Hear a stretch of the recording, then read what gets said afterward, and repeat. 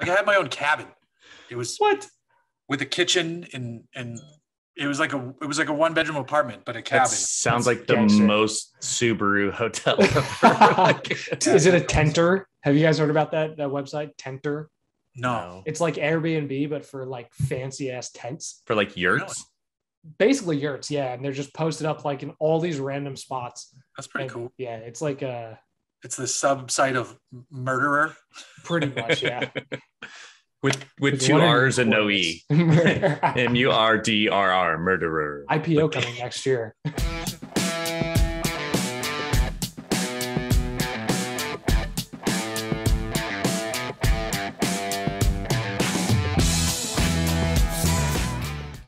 Welcome to the Off the Road Again podcast. I'm Chris. I'm Ross. Hi, my name is Jeff. Hi, Jeff. I always wait to hear how Jeff is going to introduce himself because he's the only one who consistently does it differently. Well, because like I feel like it this this is not my show. You guys have done an amazing job of creating this. You got the best guests. You guys are crushing it. But it's also like it lives on Hooniverse. So it's like it's like my grandkid. I'm getting older. So like I could just be a, a fucking goofball on it. Yep. You're the granddad Exactly. who's like, hey kids, you want some beer? Yeah. Hey, yeah. Well, no, tonight's tequila. Nice. Fuck yeah. Ross, normally it's sugar. The grandparents give them sugar and then hand it back. They can't give him beer yet. How old are the grandkids? My Can oldest is those only dogs, by 13. The way? Faintly dogs, faintly. Yeah, they were- they're, they're our terrible foster dogs. So they're you'll hear dogs for the next few minutes, and then because my my wife and kid just got home, but Well, don't- don't tell them they're terrible. well, they know we don't like these dogs, but Oh, we're gonna sucks. foster them because that's what we signed up for. Right. But You're good people, even if they're Like not the good one dogs. has bit me three times. Oh, shit. No one's gonna take these dogs. I'm screwed. Bite it back. Fucking bite it back. Anyway, Does that work? Like if they Sorry, don't. sorry, car show, car show. No, like what? There are people who have dogs that listen to this. So, oh, like, of course. how does that work if like they're shitty dogs? Like normally with a foster, like oh they get adopted, but like Yeah, ask Texas Dave. I don't know. So like we signed up for it. We're holding on to them, you know, as long as we can. They're old though, but like at some point they start to impact your quality of life, and you have to work with the foster agency. Hold on, my daughter's walking in right now, sweetie. Thank you. Um, so um, you work with the foster agency and be like, listen, we got to figure something else out. We're, we're getting close to that point, which is tough because, you know, we love all dogs. And one of the two, because they're a bonded pair, which makes it tough.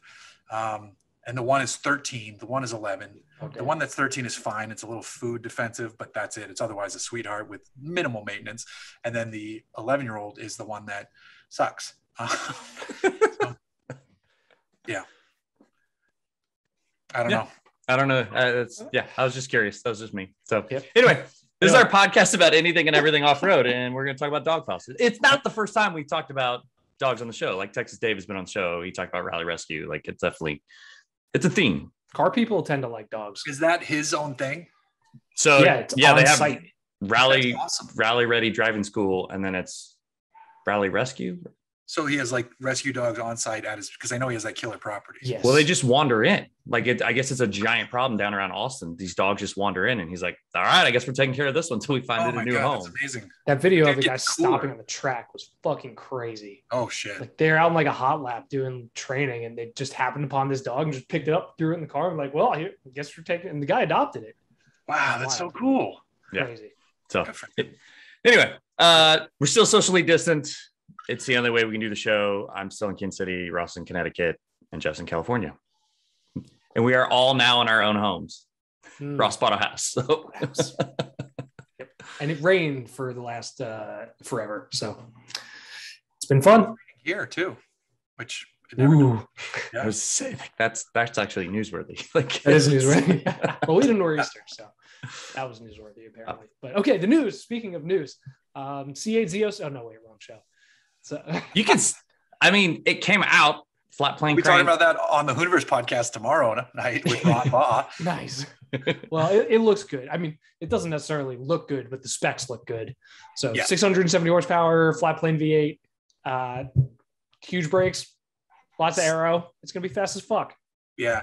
I think they already somebody already quoted like a zero to sixty time potentially of like two six, Saw two six, which is, which is for a rear wheel drive, not electrically assisted, non forced induction. I mean, it helps with naturally aspiration, but it's not even like it, it's making the torque down low. You know, it's True. it's it's the power's at the top. Though I, I'm sure the torque curve is like fairly flat for a non first force induction engine, um, but because peak horsepower is at like 8400 That's Or- insane. and and redline's 8600 and the engineers said theoretically it'd have no problem spinning past that Right. so you know there's going to be a tuner being like or Hennessey will probably be like ours goes to 9000 that's what everybody does with the Coyote engines. yeah It just bumped the red line up by like 600. But no, so the rear tires are 345s. So that definitely helps with, with traction. And they have these 45 345s on 20. How many manufacturers make a 345? Well, this is I don't know if you guys actually like saw pictures of this, but it, it's supposedly the most track capable quote unquote street tire ever made. And it's a slick. I mean, there's it's like it looks like an R compound slick. There's like two little grooves on the outside, and that's it. So Huh. I, I So as soon as it rains in LA, someone will wrap one around oh yes, everything. Stay, stay There'll be- tuned to Copart. Yeah. yeah. So that that definitely helps with traction. wow Yeah, I'm, things are I'm being trying to remember what was on like uh, the last viper i drove years ago was an acr Probably 325s. Or i was going to say 325 or 335 yeah Mhm. And that was at the time just insane and that's that uh, the ACRs in the last two years of Viper are still really, really, really fast, and those had a stick too. So yeah those were with their little dump truck engines they were pretty beastly things. little, eight point four Well- liters. maybe compared to an actual dump truck engine, I guess. Maybe. right. I was looking at Dakar trucks today. That was 8.9. So yeah. Oh, The- that one that, okay. that they released today, like eleven hundred horsepower. Yeah, the Hino or whatever. Oh, That's the, definitely- definitely the car truck shown. Yeah. Yeah, It was, it was like a thousand forty six horsepower and like sixteen hundred pound feet of torque. Just like and how much travel was it? I got. I, it, it was a lot. It was the, the the press photo was jumping, like it was already like in the air. That's so awesome. The car. I mean, the the big, and I'm assuming it's one of the big Dakar. Yeah, trucks. yeah, it's like one of the like, commercial like the size trucks. Kamaz like style. Yeah, Um, those are.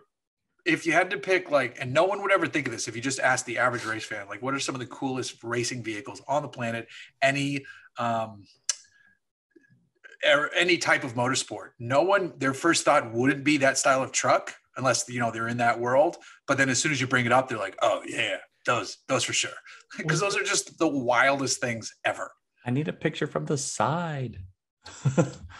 I saw one There in person in action once, a Kamaz. I think it was like one of the Red Bull trucks um, at Goodwood, and it, you know, it would Was take that the Red Bull that released that video earlier this year, last year? which one? I don't. Um, oh, that Probably. thing's gnarly. yeah, that's the one that that that's the thousand forty six horsepower and Oh sixteen. my god, Look at those Wait, wheels too. nineteen thousand pounds. It's a hybrid. Um, the interesting thing too is normally when you see these, they're usually like um, more cab over style. So it's weird Yeah. to see a snout on one of these. right. It looks like a like a traditional truck. Yeah, and I think when when the the crews that run these, I think they're usually three person teams in these, right? Like, Yeah, there's that like, that like engineered jump seat Yeah. guy. Yep. Oh, so sick. Least comfortable spot in racing, Yeah. Oh God. Yeah. except for maybe the dude that hangs off the sidecars in motorcycle racing. Yeah. That might be worse. so it's definitely a Japanese team because it's all the Toyota, Denso, Yeah. Oh yeah, Aisin. I don't see Tokico. No, I mean, it literally says Tokyo on the door, though. Right. that's it. I guess the Asian styled fish up top. There's uh, kanji on there. yeah, exactly.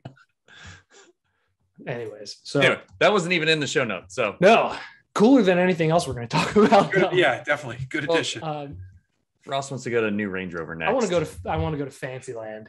okay. So new Range Rover, yep, yep, fuck up the fancy words. New Range Rover has been released. It's the fifth generation. Uh, things to know that are important. There's a three row model. Interesting. Autoblog says that it's going to use the same liter three, same three liter inline six. There's a 48 volt mild hybrid. The fast one gets a V8 from BMW, does zero to 60 in 4.4, which absolutely nobody needs. Thinking of, it's not using the old five liter. No, I think That- that one's dead. they were talking about retiring that for a while. Yeah, Yeah. but because they the, F-Type the but the racing out. Defender V8 hasn't even landed here yet, and that that's going to get the five liter. kind of wonder if that's going to be the la- like the last time that that engine's used. Interesting. I, I didn't know about that. So yeah, so BMW engine. Um, give me five seconds. Why is my computer freaking out? Because you're talking about a German engined British SUV. Probably. I I can't figure out why You know Zoom some, is like, having a some- conniption. British guy's grandfather is like, I would never. exactly. Right. Like, Grandpa, it's been a long time. Grandpa- Actually, Germany's Germany's better than us now. How Thanks do you Brexit, how, Dick? how, how do you address every Mini Cooper since they brought it back? Yeah, good Yeah. point. Good point. Those are all German. Yeah. Last few things of note: the hybrid version launches in 2023, 62 miles of range. Ooh, 62 whole miles of range. There's a That's- full EV that's in impressive. 2024. You can Whoa. get power assisted doors at every door, which is Is that like as I walk up to it, it opens for me? I my understanding of it is that the doors like you know how there's the button on the trunk to open it and close it. You can do that with Oh. every door. you know what Oh. it could be? It could be um, like so. Audi has a unique door system where you don't. It's like there's an electrical section and then a mechanical section, and when you push past the, um, when you push past, so if you just do it lightly, the electric section, you just do it a little touch, the door pops open.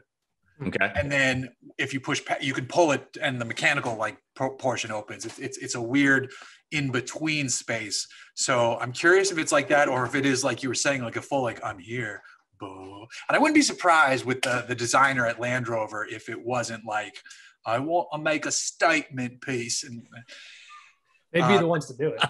yeah they would you're right And this And is the model to do it on. It also has two shark fins in that photo It does. It does. And it also has some of the worst tail light treatment I've ever seen. It looks seen. like a Telluride from behind. It I does. don't- Oh my god. I don't like the tail lights. I'm totally with you. Like everything else is to- it's it's because it's just like an evolution of the design.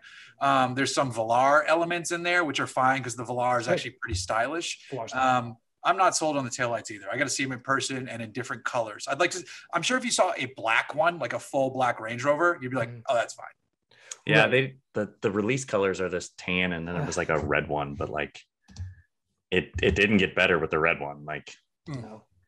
No. They should have That's like uh, when I went and saw finally drove the Tundra in person, and it was like, nope, doesn't look good in person either. Ah, bummer. Bummer. Everything else about the truck is awesome. It just looks like it's ugly as hell. yeah, Yeah, uh, the recurring theme here as we go further into the world of like ha- companies having to differentiate their cars based on how they look because the performance gaps are getting so slim is that they need to just like stop. Like they're just going that one notch too far to try to make things distinct. Like these taillights would have looked great if maybe they had boxed it in instead, you know, or but like they had to do something to distinguish it to make it look special. Right. And I don't know, it, it kind of it looks like it came from like Mansory or something. It's, I mean, that's almost too far. yeah, okay, fair enough. um, but yeah, it's, it's, I don't love it. I, I'm going to reserve full judgment until I see it in person and in different colors because Range Rovers usually look pretty damn good. And as insane as their lead designer is, yeah, that's not a great. yeah, but what is that? What's that extra piece of taillight going on Yeah. down there? I don't know. That's missing from the ones they launched today. Is that so? This this came off the media site for JLR. So Again, I'm really curious about the double shark fin thing. That's super weird. And that was an SV badge one too. So I want, that's probably an autobiography. yeah, No, the Autoblog article said that SV autobiography is no longer a thing. Oh, well, It is- that is, literally an SV badge. Yeah, no. you were right. This has got to be a render. It's no, okay, it's So this is replaced by SV Serenity. well, and this is the SV Intrepid according to the file name. Arr. So Okay, Oh, so this is all unnecessary. This is all extremely unnecessary. there's there's going to be some guy in the future that's like, no, no, I have the My God. Intrepid, which makes mine better than your Serenity because I get this package. Like, But that, I, I, I, I'm blanking on his name, um, but he's like the most wonderfully insane, just like if you take him the way he's supposed to be taken, it is hilarious. Otherwise, you're going to get crazy and offended. The dude who who's in charge of Land Rover like design right now. Um, Oh, God, Gerry? yeah, Gerry. Um, McGovern? Gerry McGovern. Oh my Okay. God. he wears like big ascots and, and he's an he's an outgoing personality. And I was on an event, I think it was the launch of the Velar actually, it was in Palm Springs because he loves, you know, mid-century modern stuff. He loves Palm Springs aesthetic. And they rented this mansion for the presentation. And the first part of the presentation was relating it to his own house back in, in England. Um, and basically showing us how rich he was oh which was fucking amazing. And then another time, they held an event for the Defender at the LA Auto Show. Um, they had a media event, then they had a fan event because then like John Mayer was going to come out and sing and shit. But he came out and he said something like, "This is my." I was the only one in the room who laughed at this. Um, and there's like it's like 50, 50, 60 journalists. There was yeah, yeah. Gerry McGovern is the man, like in the worst way. He's so funny. This is the Um, nicest photo I could find. Yeah, no, he's uh he's it's awesome. He I love him. Uh, uh Richard Porter, who used to write for Top Gear, or Yeah. maybe Mm. I don't know if he still writes for Grand Tour or not. Sniff petrol. Sniff Petrol. He he and I would go talk about him on Twitter a bunch, but he um he he did this joke where he came out in front of this crowd. I'm laughing thinking about it. He came out in front of this crowd of journalists, and like journalists are like scraping for ramen, you know. And he's like, he's like, he says, um, it's like if I had a nickel for every time someone asked me about the new Defender, I'd be richer than I already am. And I'm, like, I'm in the room, I'm in the back of the room crying. I'm like, oh my god, this is everything I want from you because like I've experienced this before. And to me, it's like it's a level of comedy where I don't think he's actually being funny. To me, it's It's hilarious. insane, and it's I love it, and it's so good. And then like if you talk to UK journals, there's so many stories. There's like, Mm. whoo, and I I, I tweeted, I think the night in Palm Springs, I was text messaging with a PR friend who's no longer in the industry, but he's a British uh, PR person who now works in like aviation. He's out of the industry. And I was like, I said, I'm like, dude, I had the best press conference tonight. And he's like, oh, that sounds like classic McGovern. And ah, he's the best in like the worst way. Exactly. Yeah. It's like Great. there's there's nothing well paying about auto journalism at all. The perk is No. press cars. Like that's No, it's And it- trips. until you like there are certain levels to hit, and it's really hard to get there, uh, and it takes a lot of work and, and time and recognition, and and um, it is possible, though it is funny. Uh, this is a, a digression, but it's related to what we were just talking about. I work for you know I'm full time at Cox Automotive these days, um, on the Auto Trader side, doing the videos for Auto Trader. Um, but they still let me do the show on Motor Trends. I mean, we'll see if we get a season three or not. I keep hearing, yeah, it's unofficial, but yeah, wink. Um, um, and then Good writing. uh, they let me do Hooniverse too. Uh, I mean, they should Motor Trend because it's the least expensive show in their They roster by far. Seriously. but um, back uh, like a year or two ago, someone posted a job interview in one of the auto Facebook groups for a Kelley Blue Book job or a Cox Automotive job or something like that. And people were like, people always complain about how there's no money in automotive journalism. And I'm here to say, if Cox Automotive has a job open, you should apply for it yeah, because it's they real pay money. well Mhm. and there's benefits and there's 401ks and there's all this great stuff and there's like literally they don't even have vacation days because it's like is your work getting done take as much time as you want um, it's one of those companies and um, so And it's they have always funny to me offices everywhere. Everywhere. yeah Like there's I mean, a they'll- Kansas yeah. City office. There's no every other job. It's like you got to move to Dearborn. I'm like, oh, Yeah. Yeah. I'm gonna move to Michigan. yeah carlos Or Los Lago Angeles. to michigan carlos Bummer. Lago just packed up to go head video production at car and driver which is probably a great position because they're trying to revamp it and if they bring in him they're probably going to let him like Actually, Shape what he it. wants. Yeah. and Yep. Carlos is really good at it. So I'm sure he's Yeah, going he's to do good. really well. But they must have offered him something wonderful to be like, "Hey, come to Michigan," and yeah, he packed up and, and he's out. Yeah. There's Think- a Hearst listed like five the other day. In the city? They're all in Detroit. Like Oh, interesting. Yep. Rob, Robbie tagged me and all of them. Like, homie, I'm not moving to Michigan. Like, I love visiting. I love visiting. Wisconsin was great last week. Michigan's fun to go every now and then. I'm not just leaving. Cost of living sucks. Like I'm I'm in the cheapest market. Cost of Don't rub it in. in Michigan sucks. I we're, compared to here, like everything is more expensive than where I am. Don't come here. Yeah, don't come here either. No, I, I, homie, like you could have bought two of my houses for what you bought yours for. I'm aware. Like, oh, I, I. Yeah, but you have a shitload more land and blah blah blah, not a lot of land, but I have way more square footage. and more room between houses probably. uh, it's not as much as you think in our Oh, neighborhood. Well, you're probably in a little community then. Yeah, I mean, it, the elementary school behind me does create like I have a soccer field in my backyard. Like there's plenty of space. Like I'm not. So anyway, do we want to talk about the new Sierra? Because it seems like something we should talk about. We should talk about it quickly. Uh, it is something that people parent pick up, people care about pickup trucks. That's Yeah. a thing these days. So let's let's touch on it. So So there's like the only thing that's not super affected by microchip shortage. yeah, apparently because they're taking all the chips from the other cars just to dump them into the trucks. That looks good. It I looks think- fine. So it's new. It's a new Sierra, quote unquote new. It's just revised. The big story is the AT4X, which Photo tier. photo tier. Um, it is basically their equivalent of the new Chevy Silverado ZR2. So it's Oh. not really a full hardcore off-roader in the sense of like a Raptor or a TRX or anything like that. Is it better than Trail Boss? It's better than Trail Boss. So it has front and rear lockers, which Don't is they already have AT4?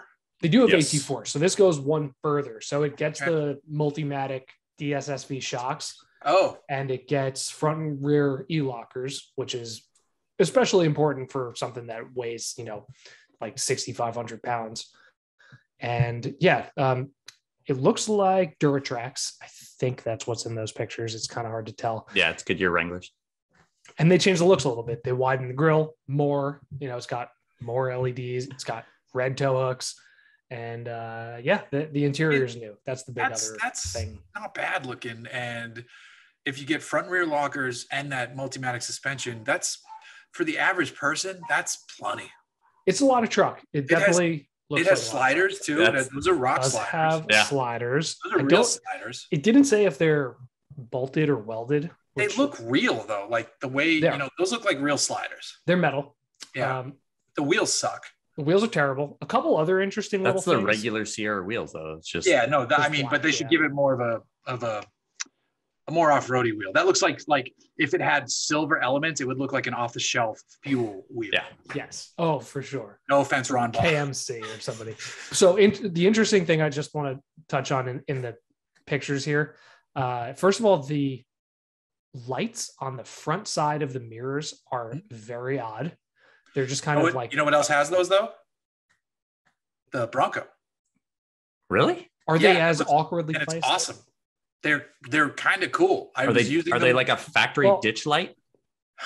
kind of. I didn't run at night, but there's a switch you can turn them on individually. Um, I- I think it's is it part of their zone lighting features, but the, the Bronco has those lights. Interesting. Well, you, I mean, you remember the FJ. The FJ was the one that kind of kicked was the, the craze off. one, right? There was like a little circle on the outside of Those both were lights.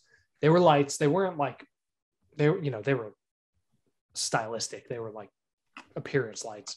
So, So on the Bronco, it's not just like a an exterior turn signal light that's on the mirror. No, those are lights. because that's what this looks like on the Sierra. It looks like a turn signal. And Yeah, I'm- but a turn signal would be at the edge of the light, um, and, so that you know, front and rear could it see it. I think that's might- similar to what the Bronco's doing. That's probably like a ditch lighty type deal. which is brilliant because Yeah, it's cool. it's Yeah, brilliant. thanks So- factory. Thanks, factory. But it looks like actually now that I'm zooming in a little bit, it looks like there might actually be marker lights on the corners of the mirrors. That- Well, the little reflection makes me think Yeah. marker light on the side. Um, the other thing I want to just point out to Chris is that this has no lower valence like all the GM trucks have. Yep. So I trim mine, Jeff.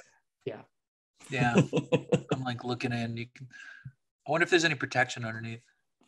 I, this- this bump here looks like it's- a, Yeah, a but just- skid of some kind. It could be cladding though, too, like Could plasticky. plastic. Um, I, I hope it's something. GMC, you're paying for. You know, that's going to be an expensive truck. So Mhm. yeah, it better be metal.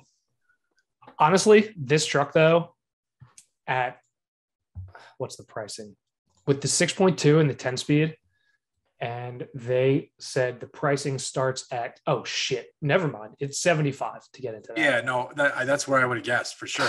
I was gonna For a AT GMC, yeah, damn the standard AT4 is 61. Those lockers aren't cheap, bro. Silverado ZR2 65. No, that's Raptor. No pricing for- as of yet. So The tow rating, even that's got to be what's the tow? I want to know what the tow rating is with the Multimatic because you have 13,000 pounds on here. it shouldn't affect it much. That's a shit ton of weight. Like, That's what 1500s tow now. Yeah, that is because like uh the F one fifty is over twelve, right? Mhm. The gotta be. Rivian is eleven. The Lightning is supposed to be 12, right? yeah, the Rivian's 11, but then you get 75 miles of range. New Forester Wilderness is three thousand, Up from 2500. up from fifteen hundred. Oh, it's 1500? Oh, Yeah, shit. that's a big jump. That's double. It's 100% more. I can math. I can math. But that's all. That's totally due to the gearing, right? There's no It's other transmission. It's it's just- almost totally transmission, and the tow hook does not come standard. tow hitch or like Hitch, the hitch doesn't come standard. so they doubled Which- the tow rating and then left the hitch off. That's Yeah, kind of like the Frontier that they gave me that they just didn't have a hitch on. yeah. I get the Frontier on Friday. You've driven it though, right? I have. I'm. I, I really like it. It's fucking good. It's great. Like I didn't. So I, I put It's 700. I put I hate the 750 steering. miles on one, and I like. I I didn't love it as much as I had hoped when I was actually driving it, and then afterwards I, ju- I was just. It's like, it's there, you know. It just. The Tacoma, after you get out of the Tacoma, most of the sentiment is, "Goddamn, that 3.5 sucks," and the seating position is hard. You know, That's what I was gonna say. Like, do the same loop you just did in a Tacoma. I, no, thank you. Yeah. He'll have to get a new back operation. Also, no, thank you. But yeah, the, the frontiers. The, fr- I mean, and we were talking in the chat the other day about if they did like a real Pro 4X kind of thing, you know, like a ZR2 TRD Pro Well. I, I, they should do a Nismo. oh, yeah, Nismo. Yeah. That be- Yeah. So as that went around the Slack channel, I was at the event in Wisconsin and was literally talking to Nissan's product planner and didn't realize I was talking to Nissan's product planner because we. Uh, no, this is the Midwest, Okay. so different guy. Uh, Wade is his name in the Midwest. Um, What's but his name in the East Coast. I don't know. I don't. It's like a Mitch Hedberg joke.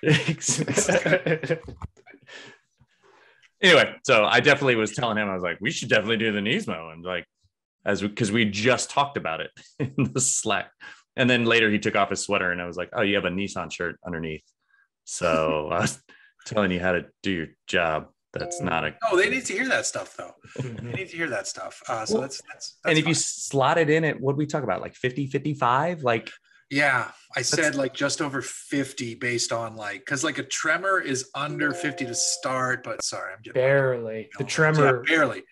Um, and that if it's F certain, one fifty tremor. no, no, that's the Ranger Ranger, tremor. tremor. Oh, okay. Yeah. the and the that's if for certain colors they'll actually mark it up um certain colors they will mark the tremor up like if it's one of like the yellow or orange ones they'll juice it up if it's a silver one they're like get it off my lot um, I like silver. That's good news for me. yeah no me too i wouldn't yeah it's and the tremor's good though when i took it off road i shot that video for um auto trader and we were having really a lot of fun with it out near barstow this little off-road loop i found um it started to like fuck up and not like it it was really weird i think it was a That was the one with pre-production Lynn, right? truck. yeah it was that same shoot It was where pre-pro. maybe because it it did some weird things where like we literally just did a couple donuts around like some sagebrush like not like not hitting any big jumps nothing crazy and then every warning light came on. And Oh, then it fun. wouldn't give me full power and i'm like oh we need to like be able to drive this two hours home. And i'm like fuck i'm like shut it off let it sit for a minute turn it back on. And then like one warning light stayed and then went away and it was fine. I was like what the fuck? Like did something just like bounce up and like hit a wire weird or you know like who knows with all the modern shit in vehicles um but it was like ooh and granted mike levine off-roads the shit out of his tremor for many miles goes camping on tatooine based on his photos right. and um he has no issues. He probably also has somebody you know comes through it after every he he probably serves as like final r&d yeah at this point but maybe but he i mean he bought his so yeah yeah. he- he's he bought his maverick um i, don't know if he bought a am broker crushing on the maverick kind of hard i haven't driven it yet really want to drive it it looked Um, good we'll see Did you Fuck. drive both engines? I only drove the hybrid, and I I jumped out of the Santa Cruz and jumped into the Maverick like an hour later, and was kind of like I'd rather be back in the Santa Cruz.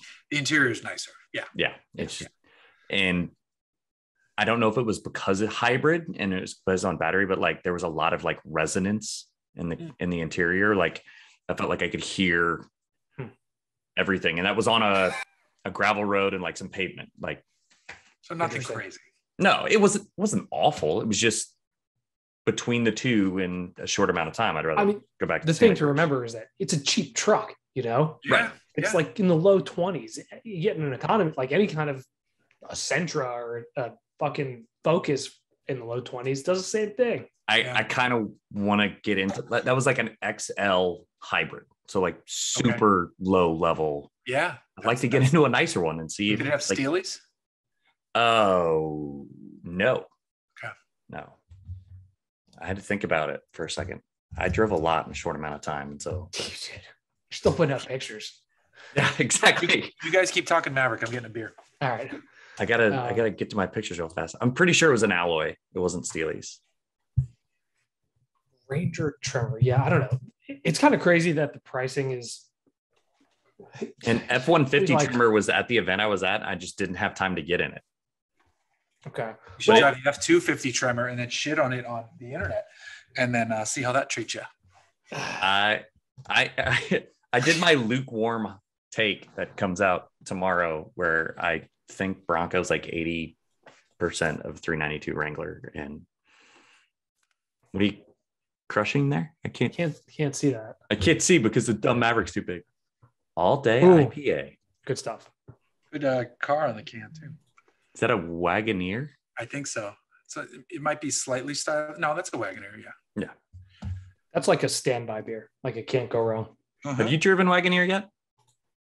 Um, yeah, and I wasn't that impressed.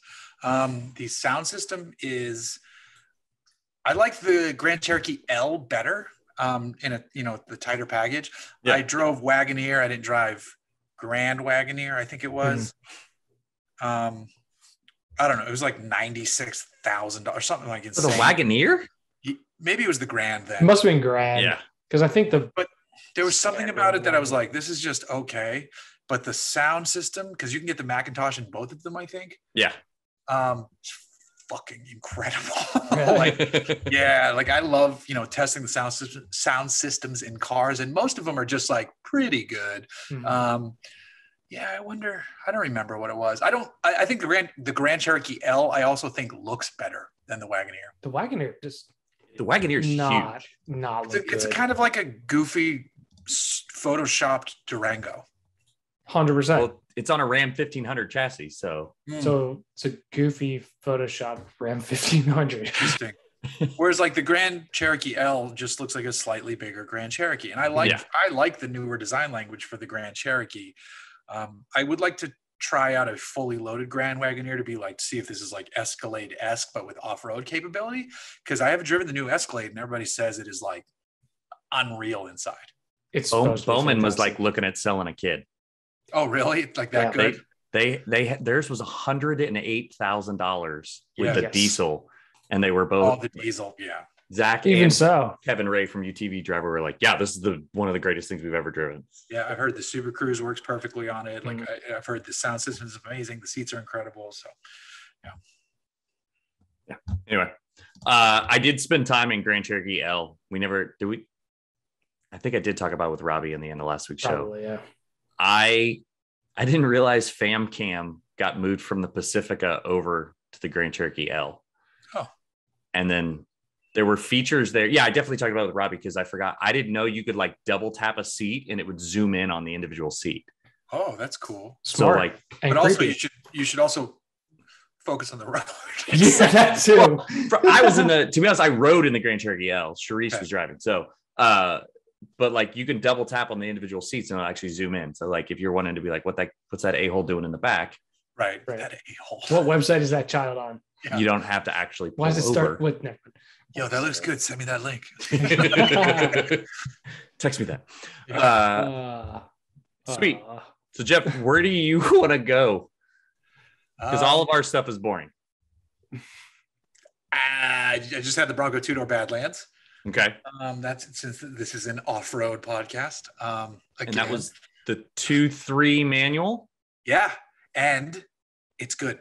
Um, the clutch has feel, which the you know the Wrangler doesn't. The- Right. the- None So- whatsoever. and it's a Getrag, so it's a good manual gearbox. Hmm. um, hey, it's me. Um, and um, so yeah, it's good red paint. The top sucks. Um, Yep.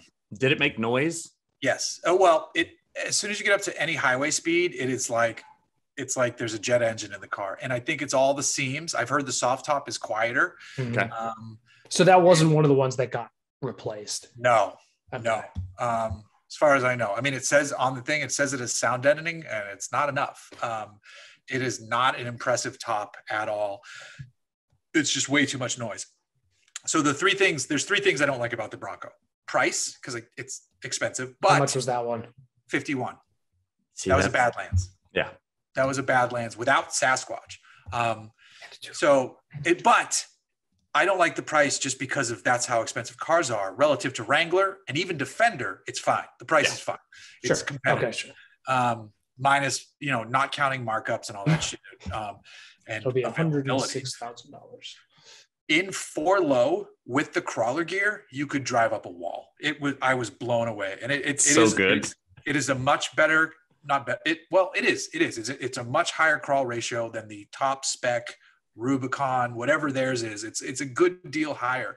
And there are points where I would be driving in that to like to get to the next like to go do the thing again for a shot and i had to like get out of crawler and put it into like second gear mm. so it wasn't at like four grand you know Always could- fun in four low. look, he's like that that person must be just like not on the gas to be Oh. at, at 800 rpm that is literally walking I literally popped the clutch and let it do it. Like oh I this is your applied. video okay this yeah. is me. Yeah, yeah. I applied no gas. I let it do it. It just wa- and it was like loose surface.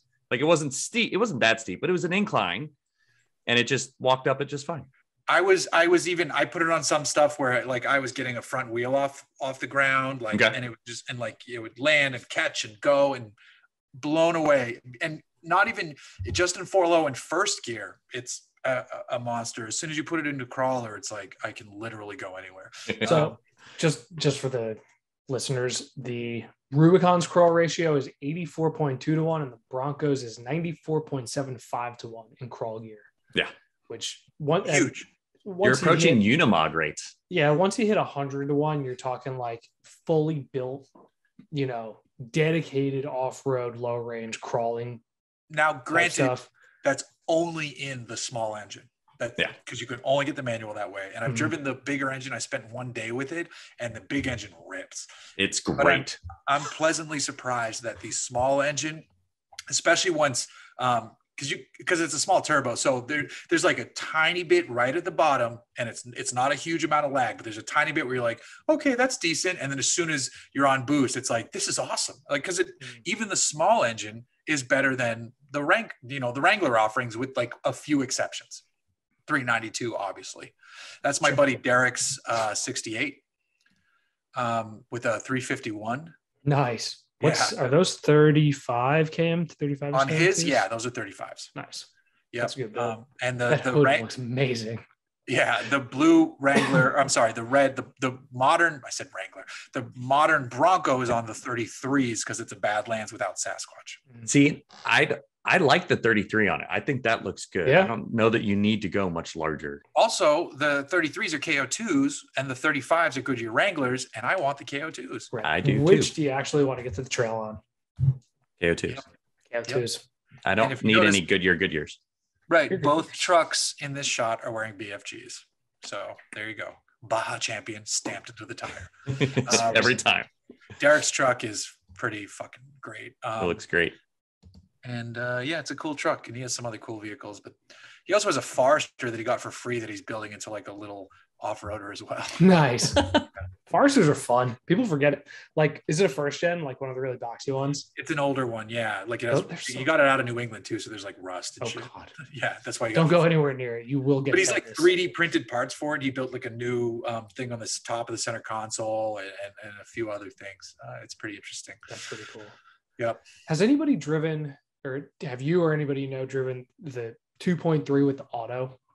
No, I have not. Uh, Mm-mm. but um, my boss at Cox Automotive, Micah Muzio, I think his is an auto. I know it's the small engine. That's why he was able to get it so quickly. And randomly today, I saw a first edition on the road, um, which I didn't even think those were coming out yet. But um, Micah's, I'm 90% sure is a small engine auto. So I'd be curious about that. Yeah, I've I've seen speed's a, fine. Seen a couple base four doors on the Steelies, and it looks terrible. It's Yeah? so disproportionate. Yeah, the Oh, wheels are tiny, the they're- okay. tires are tiny, which like they're asking people to come spend money. Yeah, yeah. But- Which is funny because on the Bronco Sport, to get the steely look wheels, even though they're actually alloys, you have to go all the way to the top, and they actually look fantastic because they're 18s They with uh, Wild Peaks. Which are More, so more and more tires. automakers, more and more. Oh, it, he did something really cool on his Bronco.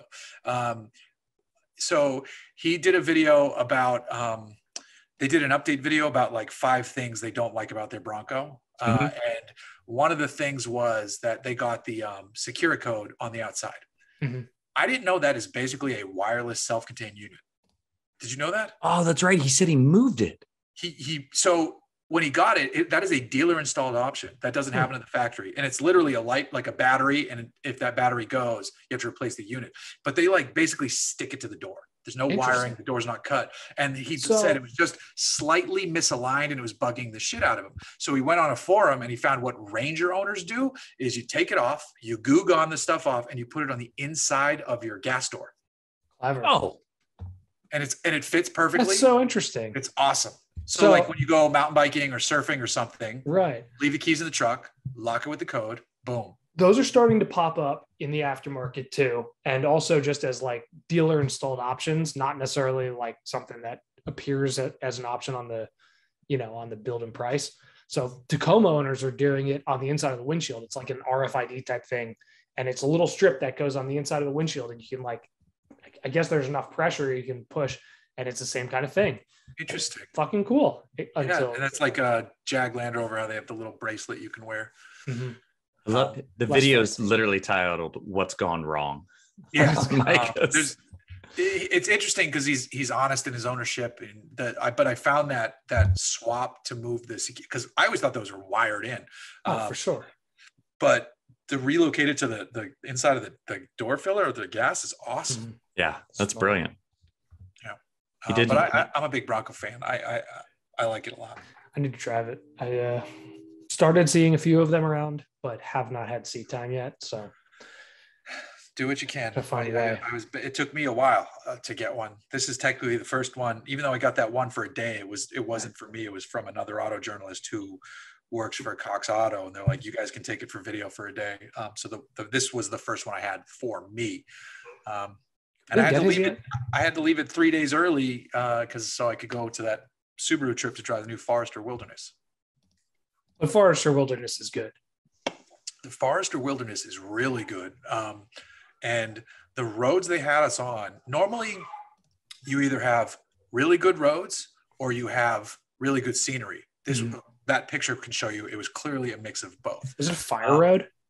That was a fire road. That mountain, I believe, is Mount Jefferson in the distance. The fact And- that you could see a mountain in the different distance in Oregon is amazing. Yeah. Oh No God! To the left, there's a no thing. There's like three sisters. We're just to the left. Um, Okay. It's it's um, it was funny. It, it's it's you and the it's funny because the three people commenting besides Lynn, uh, um, Jason Fenske from Engineering Explained is from there originally or lived Yeah. there for a long time. Daniel Cudmore is an actor who now Mm-hmm. lives in uh, BC, and Alex Guapo is the guy who runs Loam Wolf, which is a mountain bike website. Which if you're into mountain bikes, you should go read. And he lives. He moved from California to Bend, so we were in his back door. And he says it figures it's a Subaru thing. That's why I was there. Um, literally, ninety percent of the vehicles on the road in Bend were Subarus. It's not an exaggeration. It was wild. Every Well- car there was a Subaru.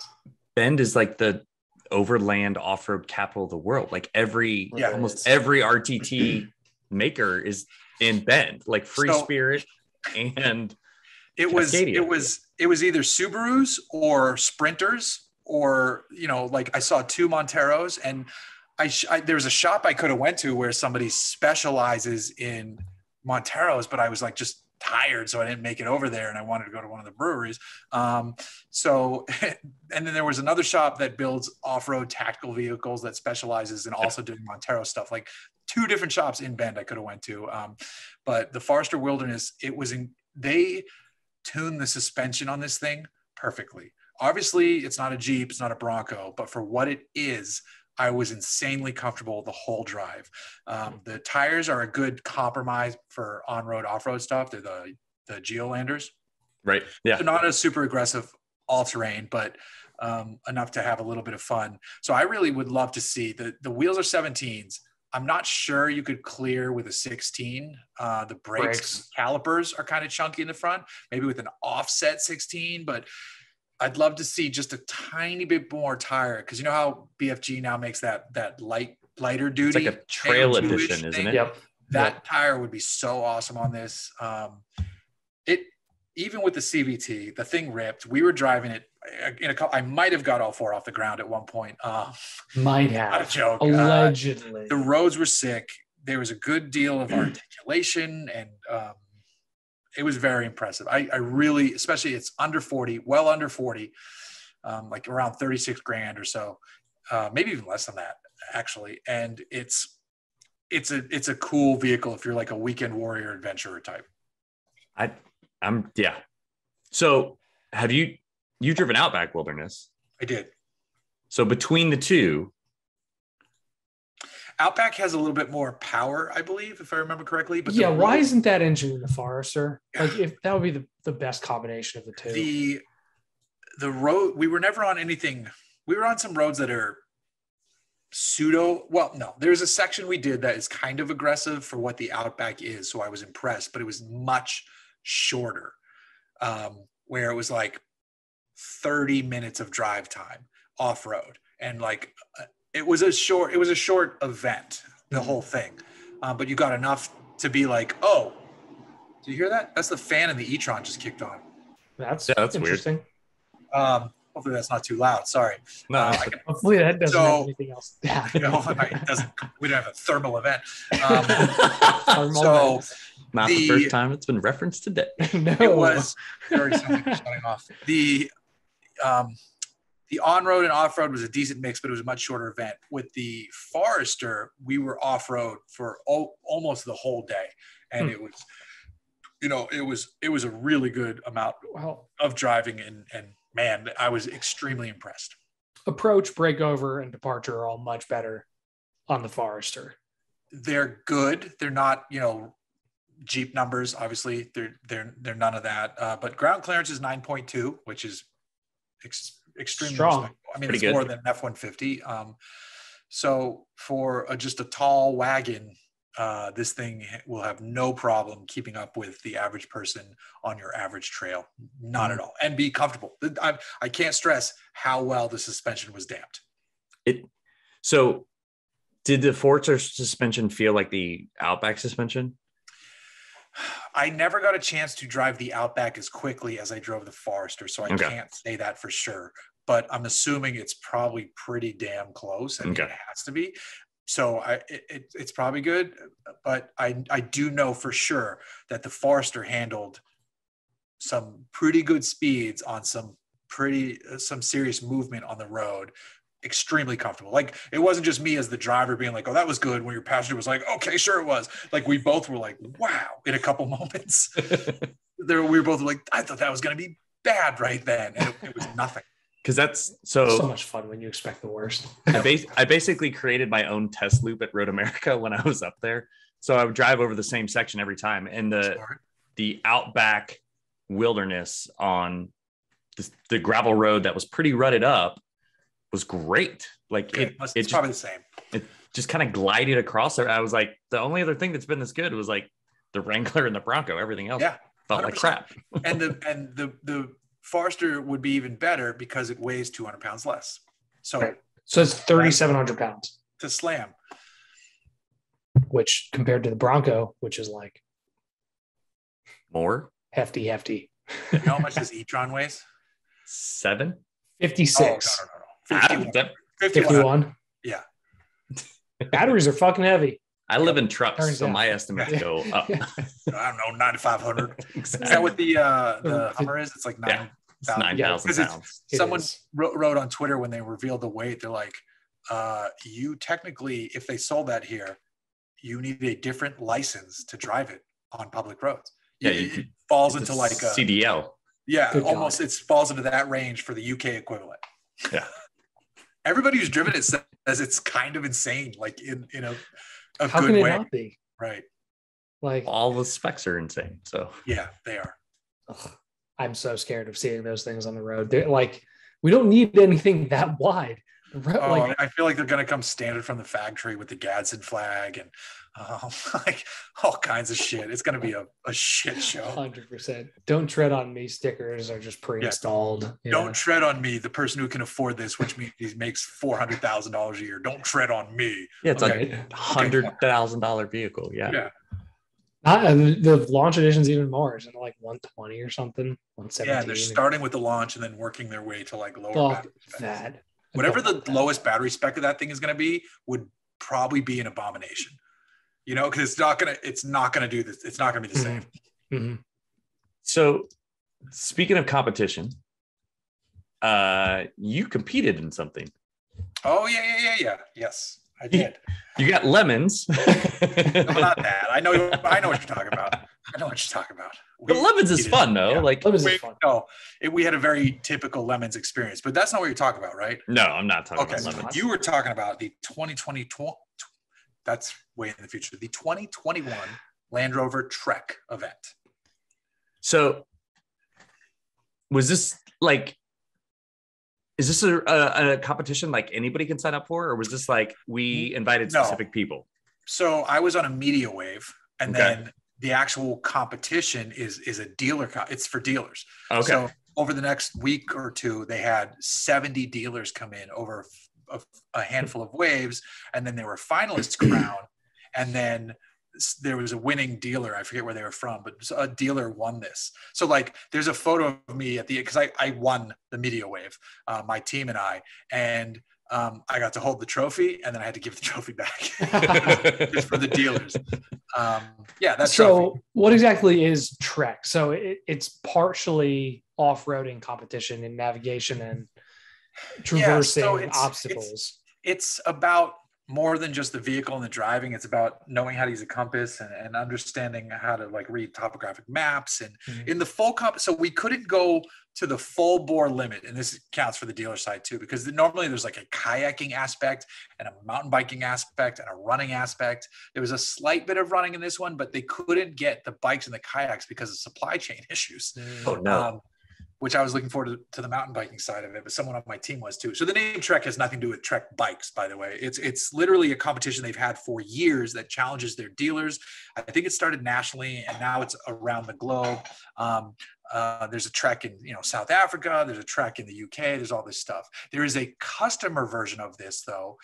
Um, so backing up though, for the Trek one, those were special limited edition Defender Trek edition trucks that had special badging um, and all the extra shit you see on them, like the limb risers and all that cool stuff. And then if you open the doors on the B pillar, there's like this holographic trim thing too that was really Hmm. cool. Um, but They look fucking. those awesome. are those are all purchased by the dealer. So like that one says North Carolina on it. Hmm. We were driving a dealer's truck on our way. Oh Like, wow. I think I don't remember which dealer we had, but I wanted to find them because it had their names already on the side of it. And I wanted to say, hey, dude, good luck. I farted in your truck. You know, um, is that is that the name on the back glass? yeah, that's Land Rover Parsippany. Parsippany. Yeah. Sure. So there was like in Asheville, North Carolina. Well, it was in Asheville, but there was like mission. They were all, all over, all over the country. Seventy dealers competing. Hmm. But now there's a customer version of this called the Defender Trophy, which kind of is like a play on Camel Trophy. It's not as aggressive, obviously, but the the Defender Trophy trucks, and you have to be a Defender owner to compete in this. So it's for customers, not not um, journalists or well some journalists were there. Uh, peter nelson friend of the site uh, he got to go. Um, but it's for customers. If you own a defender you can enter. These are finished in sand glow yellow so close to camel trophy colors. Um, they're they're really cool looking trucks. The logo looks like a camel trophy logo sort of Mhm. as close as they can get it. And it's the same it also was at the same place where my event was. But it's um i got paired up with two other journalists i got really lucky on my team because they were really good at this stuff. Um, we competed against lindsey vonn the olympic skier. She was on a vip team and her team actually had two two she did really well and the two other ladies on her team were also awesome impressive people. Um, and um, yeah that's the so it's it's sand glow yellow is it's not quite you know camel trophy color but you can see the aesthetic is there. Yeah. um Same theme. it's close um but And that's my- my event was awesome because it took place in the grounds of the biltmore estate and the night before so we camped out the night before in the middle of a field and we got to kind of scheme how we were going to do it and one of my teammates tommy maka from tfl you know tfl cars Yeah. truck off-road Oh, you had Tommy with you? That's yeah. Um, and he said he went to the instructors like, "Are we allowed to use onX, which is an off-road trails app?" And they're like, "Yeah." No, nobody else asked that question, but yep. We're like, okay. So we started plugging in potential spots for the the um, the different obstacles, and then we also um, what else did we do? Oh, the other guy on my team was uh, Brian Dorr. Uh, Brian Dorr writes for Explore Elements, or he is Explore Elements on Instagram. He writes for Tread Magazine. He does um, a, a bunch of uh, he's an overland guy. I think he has a GX 460 that's fully kitted out. So he knew a bunch of stuff too. Um, it all kicked off with us having I was the navigator on the team to start, which means I had to run about a half a mile down the road in boots and shit to the find. Land Rover people, to then get the coordinates, to then try to find our truck, which was over a mile in a different direction. So we had to like figure out where the truck was just to start the event. Hmm. And we we were like tied for first. Uh, we were the first of two teams to reach the trucks um, right out of the get go, which meant we could we could put our plan in motion, which was to hit the farther checkpoints first. Mhm. And they're worth different amount of points, but they have names, but you don't really know what they are till you get there. You can get points for not completing a trial if you're like one of the only ones there, depending on who comes through it. There's one challenge or two challenges where you have to work with another team actually. And at dinner the night before, we're like, hey, we're going to call you midday, figure out where we are. Then let's meet here towards the end of the day and try to tackle this one. So we did these challenges. There were six teams on the media wave. The sixth place team was this Canadian team that just did terrible. Like, but then fifth through second, the point spread was like 130 to 180 or something like that. Uh, you know, pretty good showing. Lindsey Vonn's team came in second. We won, and our score was 221. We Holy crap. Oh, you killed it. we smoked them. Like it, it wasn't even a little bit close. Was the off-road driving portion of it difficult in any Um, capacity? So th- we didn't realize it because we couldn't see the names of the challenge. We missed like two of the challenges where Oh. it was pretty legit, where one person couldn't like make it like mud up to the fenders, like all this shit. Oh, if you look at my B-roll of the video I put on Hooniverse, like we didn't drive that. We we didn't even know that section was there. We Oops. never got into any of the harder off-road stuff. Our the challenges we wound up doing were more related to the periphery of adventure, um, where the hardest challenge we did, and it fucking sucked. And I swear to this day, anybody who has a high lift jack on their vehicle has never actually used it or will never use it again. Um, we had to park a defender backwards at the base of a hill, and there's a tree up the hill with uh, oh a tree. no! There's a tree saver around it Oh no! and then there's various lengths of chain and we had to attach the chain to the high lift jack to the tree figuring out the best way to attach it because you mm-hmm. have to be smart in how to use it and then we have to high we have to high lift jack it two car lengths up What? a uphill. And a high lift jack moves about this much each click and we have to go two car lengths so we're, and like so then like in bet- so that means you you can't do it without re, you have to reset the chains and i think we had to reset the chains eight times Good. and Oh my god. so that means like that someone has to be in the car and the people jacking have to be like have the forethought to be like when they're switching chains, be like put your foot on the brake, you Mhm. know, like um because you need the car in neutral and and and then you have to undo it and all this shit and it sucked. that sounds terrible. We I think we were the fastest at that. There was another challenge that was really cool where there was um four big pieces of wood that were the base of a bridge, like probably like a 10 foot long bridge with all the planks removed. And you had to put the planks in and build the bridge. And in the middle was a Land Rover logo that had to be correct. And then So, drive like, over so- that and then disassemble it. And the guy said not only was it the fastest of the group, it was like the fastest he'd ever seen anyone do it. We That sounds like something from 12 minutes. Survivor. it was, dude, it was so awesome. I just That got to the the bridge team. in your video. In that, that's Scott Brady in the shot. Yeah, and Scott um, Brady, that that's the team we actually reached out to at dinner to be like, hey, let's meet in this one challenge. And we met at this challenge that was crazy, where it's two trucks lined up, winches pulled out. They have these gorgeous Warn winches with the Bluetooth um, controllers. Yeah. gorgeous, Fancy. gorgeous. Uh, you connect them Fucking to this to ropes that go up this thing, and there's a big wooden beam with a tire on it. And you have to direct the trucks to winch the, the beam up. And there's three stickers on the back of the beam that they can't see. There's like a big sticker, a medium sticker, and a little sticker. And those stickers are worth different points. And you have to get the tire to rotate and go up and exactly line up with the sticker at the top of the beam. And oh so that's coordinating between two teams. So there's someone in the truck, someone outside the truck relaying what I'm saying back at the beam, me and the other person on the team. And I kind of just took over like directing and I, I turned to her and I said, Hey, I, I don't want to just like yell over you or take this over. Um, she's like, no, no, no. If there were two of us doing it, it would, that's the high lift jack challenge.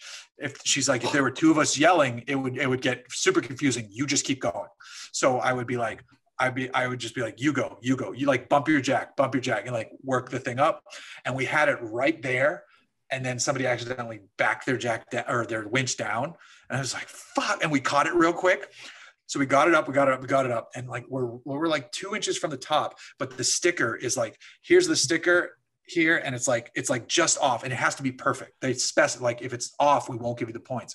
So uh, Brian Dorn, our team goes to the judge out by him. He goes, Can I just bang the winch cable on our side? The guy's like, No one's asked that.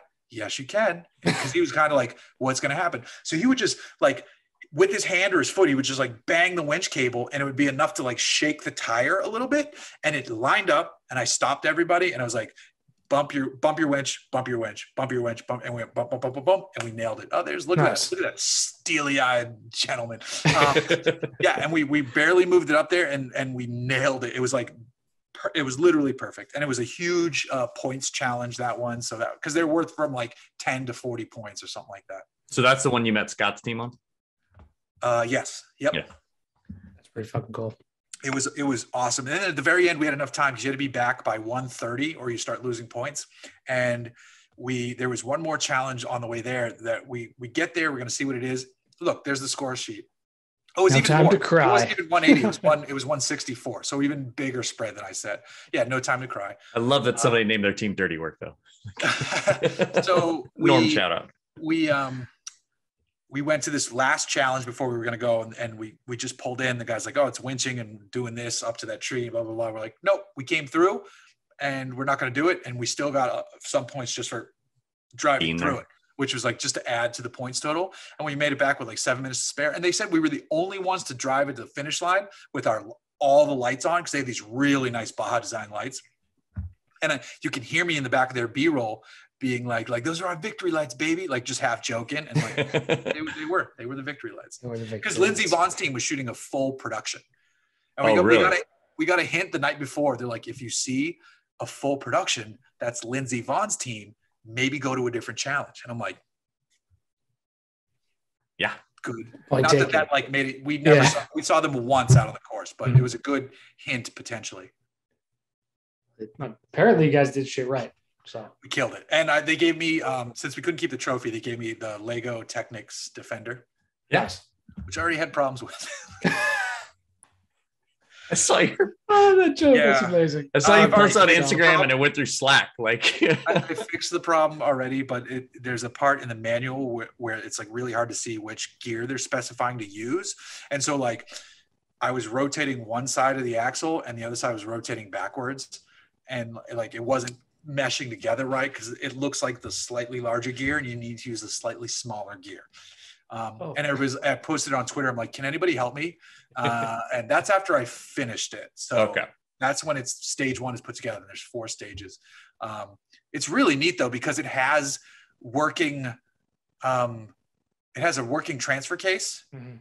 and uh, the engine will eventually when we get to the engine will there's like a working engine in it um, so it's actually it's Oh, pretty that's fucking, fucking you can see there's like um, if you go back one photo there is the those two like drive shafty things coming out which i haven't got to yet. Um, but that orange piece at the top left is like slides back and forth and engages uh, is what makes the transfer case work. It's, Those it's- actually they look like U joints. That's actually really cool. it's insane dude. And and you can see like if you go back another one um there's like the suspension on the side and the axle and and it's dude it's it's, Oh it's really impressive It's 2,600 pieces. That's actually pretty. That's a lot it lot. has a it has a winch that It's a have to D, put oh, it's a together. D90. Oh, I'm gonna have to buy this. Fuck. My that, that comment my- is good too about Oh, the, did- the right there Oh. whoever mark broadbridge is about drinking wine and taking days and hours and, Yeah, 11 hours, three days, and two bottles. we did the Beetle last winter. That was like our COVID winter project. nice So needed defender. So did you like the D90? Um Like the real life I- one, not just the Lego version. Yeah. Yeah. yeah obviously because in the in the in the um trek defender we were doing 110s and those were Mm-hmm. the four cylinders which i hadn't driven prior uh i like the d90 if you are a guy with no kids um Fair the enough. cargo space is a joke it's actually really really bad the Like, worst part is that the seats don't fold anything even close to no they're like they're like it's it's it's and there's that beam that runs across too Mhm. um it's it's really shitty i was Yeah. so excited to take it camping and i i couldn't i was not Mhm. going to be able to get um anywhere near the stuff we needed so we threw it on the montero and it was like all right no problem Mhm. um but it is it is good i am a long wheelbase person so i prefer long wheelbase vehicles and i love the defender 110 Mhm. the d90 is good though that tight little um, uh, departure angle is is the shit, you know, and smaller vehicle with that already great nearly 400 horse engine is is pretty awesome. Yeah, Um, it's not slow. In No, no, 395 horse. three uh, liter is not it, slow. it whips and it's Yeah. comfortable off road and it looks good. The, that big piece of It looks fucking. It looks great. This was the does. first of all the press cars I've had that Sam stopped and looked at and was like, "Holy shit!" Like that's I- like, good. I looking. still would take a 110, no question, all day. Yeah, long. I need to. I get like it, it- same with the Bronco, same with the Jeep, same with obviously the Montero. I prefer longer wheelbase. Mhm. Did yours have the jump seat? Because My Um, Montero? no, No, no, the 90. 'Cause, yeah, Oh, does your the- Montero have the sorry, jump I'm seat? sorry. Uh, well, my Montero is the bouncy seat. It's got the Bouncy comfy seat. one. Bouncy seat is better than Defender's third middle. the jump seat's stupid. Fucking um, stupid. It It, it ruins because when it's folded, it now you have no storage. It's stupid. This one did have that seat, and I hated it. You're right. So dumb. um, yeah, it's dumb. Like I'm not on an expedition. We don't need a mechanic sitting there. No, it actually has good back seat leg room, Mhm. which is why it has no cargo space. But the two door Bronco has backseat leg room and has good cargo space. So they just fucked up on it. Yeah. Yeah. Also, if you're gonna get the short wheelbase one, you why are you then trying to squeeze another person into the Yeah, yeah. Unless it is like one child, because the door opens Yeah. far enough to make it work. But right? But the but- other thing is like they did such a good job opening up space in the front row yeah, that the jump seat just kill it just absolutely ruins it. what it would be cool in the aftermarket, um, though it would never, because you could never pass um, collision with it, is if you could remove the second row completely, get rid of that stupid metal beam, and then put like a side folding seat back there that you could fold up or take out, and then just have a like a two seat defender, because then you would have good storage space. The Uh, actual like sideways jump seats, like classic Yes. defenders have. Yep. Like, like Land Doug's Cruisers. defender. Yeah. Yeah, That would be great. Or Daddy just take Doug. the fucking back seats out. Yeah, and you can, but then I wonder if that beam is still there. Because is it structural or is it decorative to like stop stuff sliding under the seats? Because if it's not structural, right absolutely go away. All right. LandRoverForums.com, D90 rear seats. I'm sure there's a hundred Google. thread. Right. Who designed this? No, that's not what it says. Uh, can anyone Sure, confirm the rear seats can fold completely flat? No. No, they don't. It- it- and they're not even like kind of close to flat. It's atrocious. No, here. Oh when my that showed up, I was all, so excited to go camping in the Defender, and the first few things I put in the back, I'm like, Uh oh. what this is a this is a joke, right? Because the 110, I feel like the rear cargo space in the 110, even behind the seats, was still good. I don't totally remember that though, Mhm. but I don't know, man. I can I can tell you though, uh, Tony Montero had no fucking problems. As you would hope. Though I almost burned the clutch on the drive to the campground. There's a lot of Um, windy climbing roads where I was like constantly like between third and second. And so like when I was pulling into park the, at the campground, it was like pedal was real soft. oh boy. That beam is massive. it's Yeah. huge. There's nothing on the internet. Not that the internet tells all, but I would be like sawzalling that fucker out of there. doesn't look like it's an easy. Just pull the back seats out like in the Or I, I wouldn't have because I would have bought a 110. or that. Yeah. Took me Oh, that long to find an image that was clear. Yeah, there you go. That is a great view of how shitty it is. Yeah. So stupid. Which is too bad I'm, because I'm thinking about every large SUV I've owned and the ability to fold stuff flat. Like the Land Cruiser, the rear seats would get out of the way, or I could take the four bolts out and just completely remove the seats. And I, I really want to know if that piece is structural or not because I Mhm. feel like it's decorative. I feel like it's to stop stuff sliding under the seats. right. Jeep does that with the leather package on the Wrangler Limited, but Oh, not on the cloth. this They have like it's just a filler. It's just a fill plate. There's nothing. That else. has to be what that is. Gotta be. So It- it- pull that out. Stupid. cool. Yeah. Cool truck otherwise. I Dear fuck- Gerry McGovern, what the fuck? Yeah. Well, he's rich enough to have a 110 and a 90, so this isn't an issue. He is. Yeah. You're too poor. Just buy another car and bring it with you. Yeah. Buy a Jag, bed Jaguar. What's the it makes me think of like the the Thomas Crown affair, like the six by six Wrangler they had behind them pulling their luggage as they drove off in some safari Mustang. Like, I still love that Mustang. I think about that Mustang probably four times a year. well, you we should be seeing more of them. Safari's a thing. Like, Yeah, I put something in chat because Oh, that Uh, one, right? Honda is doing an Africa Twin Overland, Yes. Oh, it's so which is so sick. I wish I rode motorcycles occasionally, not really, but bikes like that make me. wish. Same. Yeah, that thing's so good. One of my friends just finished the Transamerica Trail on an Africa Twin, Wow. and uh, he's gonna he's Chris. He's gonna come on the show sometime. I'm trying to figure out when, but he'll I'm- come talk about it. I'm good with So- that. I've reached out to It some would be others fun to get on the show. I- I wonder if he'd come on. Um, you guys should talk to uh, the Honda Power Sports PR guy, Ben Hodges, because he was like a lot of fun on I've been, and I'm trying to him. Well, barely. I'm going to make it more aggressive. I really want to take a Talon to Mhm. an off-road event. I want to run like fucking Mint 400 or something in one of their Talons or uh, San Gabriel 250 or Baja 500, and um, I their I mean their their Talon line is about to get a lot more aggressive, um, which would help with that. Uh, and they seem like they're down for a lot of things. But he'd be a fun guy to have on the show anyway, because power sports PR people are a bit looser than like the auto side, where they have to be. Oh, we don't comment on future product. I will talk to you offline about that. Okay, Have some did you not have a good experience? I have some stories Oh, great. from the other side, but uh, Okay. but did you see the last thing I just want to talk about is um, on that note, we're kind of planning something that might be related to that, and I'll Okay. loop you in. But also, did you guys see Polaris's news yesterday? No.